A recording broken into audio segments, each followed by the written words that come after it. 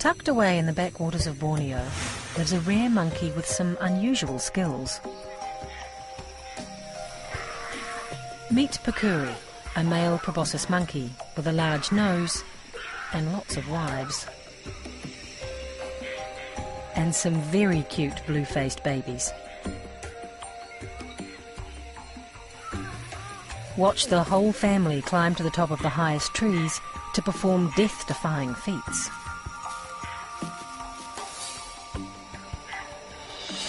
Find out why they have such fat bellies and how they digest poisonous food. Join the bizarre world of the proboscis monkeys of Borneo.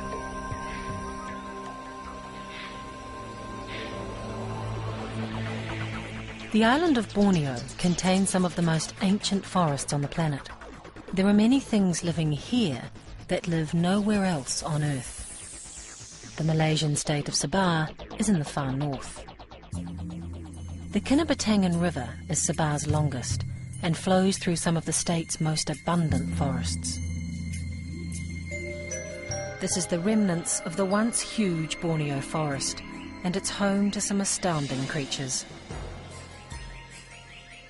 Estuarine crocodiles can grow up to six metres long. Smooth-coated otters hunt in the muddy waters, using their long whiskers to seek out small prey such as fish, crabs and turtles.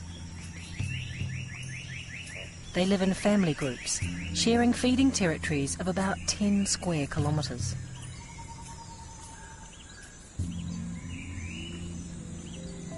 Ten different species of primates can be found amongst the trees, including dainty macaques.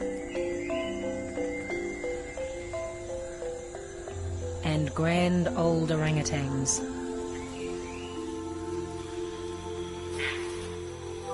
But of those ten, there's a rare monkey living here which has such a peculiar lifestyle that zoos rarely attempt to keep it, and few people have ever had the chance to watch it up